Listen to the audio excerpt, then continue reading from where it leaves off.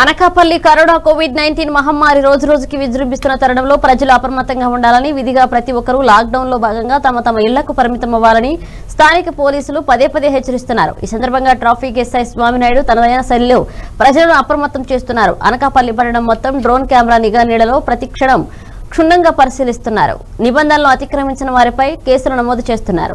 ఉదయం ఐదు గంటల నుంచి నిఘా ప్రారంభించి రాత్రి పొద్దుపోయే వరకు కొనసాగుతుందన్నారు. విధిగా ప్రజలందరూ కరోనా వ్యాధి బారిన పడకుండా తగు జాగ్రత్తలు పాటించాలని సూచిస్తున్నారు.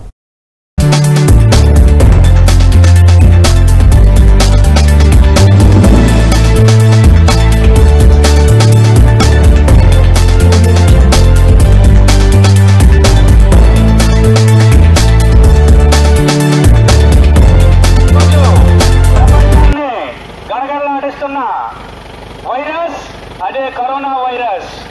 ఈరోజు దాదాపుగా అన్ని దేశాలు కూడా దాని బారిన పడి ఎన్నో వేల మంది ప్రాణాలని పోగొట్టుకోవడం జరిగింది. ఈరోజు ప్రపంచంలో శక్తివంతమైన రాజ్యాలుగా చెప్పుకునే ఓ అమెరికా ఓ బ్రిటన్ ఓ ఫ్రాన్స్ ఓ ఇటలీ ఓ స్పెయిన్ ఓ జర్మనీ ఓ చైనా అన్ని దేశాలు కూడా ఎన్నో వేల మందిని ప్రాణాలు పోగొట్టుకున్నారు. కాబట్టి అందరూ కూడా ఈ యొక్క లాక్డౌన్ పాటించి సామాజిక దూరాన్ని పాటిస్తారని కోరుకుంటున్నాం. ఈ లాక్డౌన్ లేక ఉంటే మన దేశం ఎంతో లాస్ అయ్యున్నది ఈరోజు ఈ రోజు ముప్పై కోట్లు కలిగిన అమెరికా దాదాపుగా నలభై ఎనిమిది వేల మంది చనిపోవడం జరిగింది.